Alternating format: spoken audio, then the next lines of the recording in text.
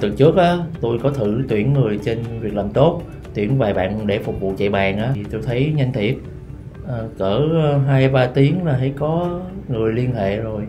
À, sau này nếu mà cần tuyển người nhanh á chắc tôi sẽ lên việc làm tốt kiếm cho lẹ. Chị có một cái nhà hàng hải sản chị cũng định vị là nó thuộc phân khúc cao cấp một chút xíu á. Thành ra là chị yêu cầu nhân viên rất là cao đặc biệt là bạn tiếp tân à, yêu cầu ngoại hình phải tốt tốt chút xíu thì bữa giờ chị tuyển là không được. Mà cũng may á, là chị có con em dâu nó giới thiệu chị là ok có thể tuyển ở trên việc làm tốt nên chị cũng đang thử coi sao.